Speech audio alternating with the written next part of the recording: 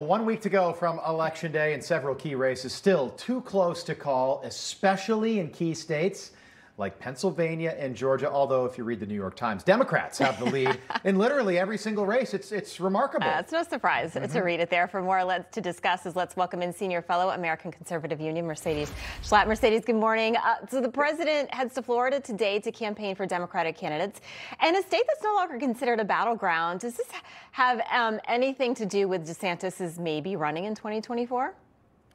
Well, I, you know, it, we'll we'll see what DeSantis decides to do. I think at the end of the day, uh, you know, DeSantis is obviously a strong force in helping these Republican candidates. We saw, for example, Ron DeSantis up in New York with Lee Zeldin in Long Island, New York, and it was a, thou- over a thousand people there. So uh, he brings a lot of enthusiasm with him wherever he goes. And the more we can get our superstars out there, uh, including President Trump, who's uh, obviously uh, doing a rally in Pennsylvania on Saturday. I think it's a boost for our Republican candidates. But look, at the end of the day, it's because the Democrats are in the weakened position, and God only knows they want to put Joe Biden and Kamala Harris in the basement and keep them there through election day. Yeah, Politico with some reporting out basically saying the Senate is is going to be too close to call either way. We'll find out uh, Wednesday. We know that race in Georgia. If one of the two candidates doesn't get 50%, at least 50%, it goes to a December 6th runoff. Um, Herschel Walker has been under attack. He put out a statement this morning basically saying that the Democrats are, are after him uh, any way they can think of uh, to try to, to, to give Raphael Warnock the lead in that state. What are you hearing out of Georgia this morning?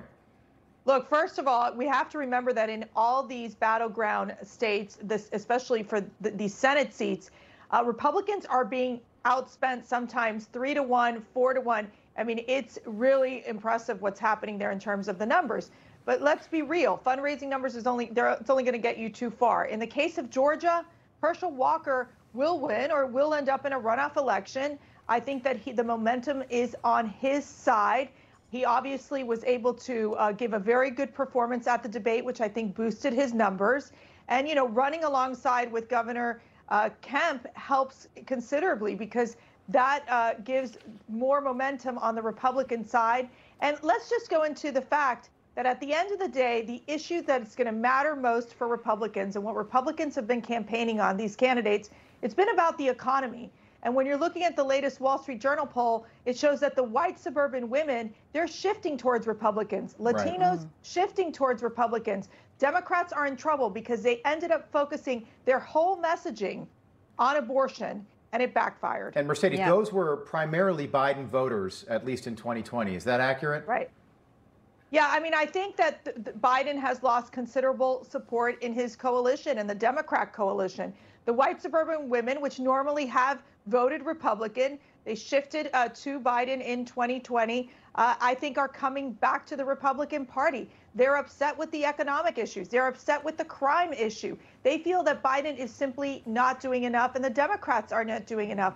Just in this poll, it showed that only 27% approved of the economic policies that the Biden administration and the Democrats have supported. These are dismal numbers for the Democrats, and it's why you're seeing this sudden shift. And I think for the Hispanics, it's looking at these pro family uh, issues. It's the fact that mm-hmm. they don't want their children indoctrinated. They don't want this woke agenda that the left is pushing, and they've simply had it. That's why you're seeing the shift towards the Republican Party. And it's why you're going to see these Republican candidates at the end of the day win the, not only the House but the Senate. Yeah, you saw what happened in Virginia with those women voters, those moms. Um, we saw what happened. So I do want to quickly move on to the um, Paul Pelosi attack. Suspect David DePape was charged with attempted murder and attempted kidnapping of a public official. Uh, the assault now described by lead prosecutor as politically motivated. Do you think this will impact midterms with only a week left?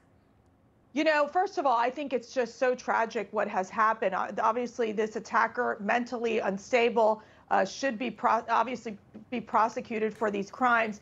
And really, you don't want any threats to come, not to our Supreme Court justices, not to our political leaders. That's simply unacceptable. And we all need to unite uh, in ensuring the safety of our public officials.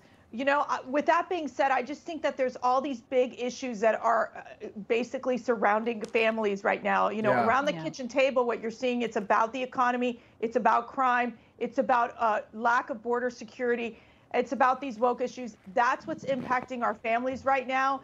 Um, and I think those are going to be the issues that are going to drive the midterm elections. All right, Mercedes, good seeing you again. We'll leave it there. Great Seven to days to go. Uh, we're now in the home stretch, finally. Mercedes Schlapp, thank you. Thank you.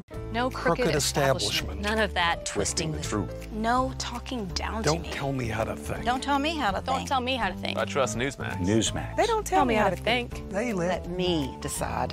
Newsmax real news for real people.